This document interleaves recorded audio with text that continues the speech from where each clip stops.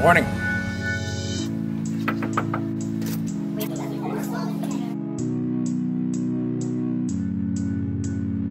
Good morning and Happy New Year. Today is Tuesday, January 6th, a day two, and welcome to the first PBS of 2016. I'm David Barbier. And I'm Ashley Ray. Here are today's announcements. The word of the day is abdominous. Adjective, having a large belly, pot bellied. There is a mandatory meeting about the auditions for Chicago today from 3 p.m. to 4:30 in the Black Box Theater. For all interested in working in the cast or crew, more information about the actual auditions will be given in this meeting. The girls basketball team will be playing home games against Matter Lakes today at 5 p.m. and Grace Academy International on Friday, January 8th at 7:30 p.m. in the Pace Gym. Students that are going to the March for Life in Washington, D.C. will be having a meeting tomorrow, January 6th at 2.30 p.m. in room 222. Important information will be discussed. There is a mandatory tennis meeting tomorrow, January 6th in Mr. Lee's room, next to the Dean's office. This meeting is mandatory in order to view the concussion video.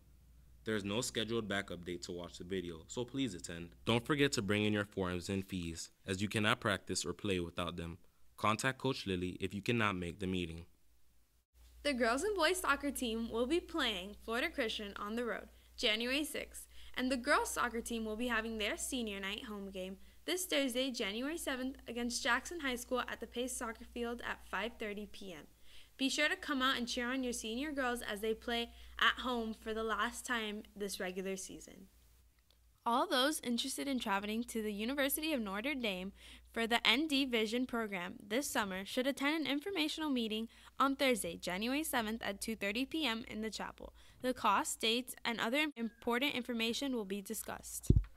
Flag football conditioning will resume Monday, January 11th at 3 p.m. at the flag football field. The Mission Club will meet on Thursday, January 14th at 2:30 p.m. in room 225.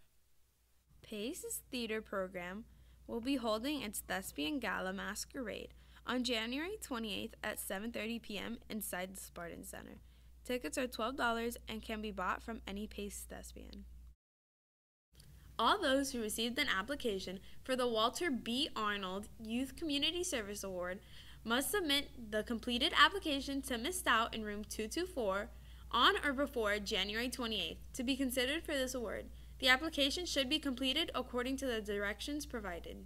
That's all for today. For PBS, I'm Ashley Ray. And I'm David Barbier. Thanks for watching. Have a great day.